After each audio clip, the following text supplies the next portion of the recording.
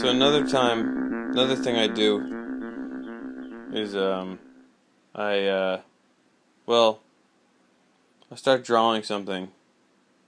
For instance, this dog, this orange dog boxer, the orange dog boxer gives double thumbs down to Microcat. So, Microcat, so you have scale. He's not as bigger, smaller than my uh, fingernail.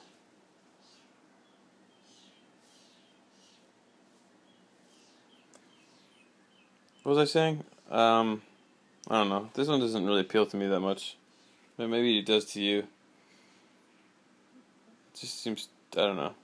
20 $20 I'm gonna sell this, this one for.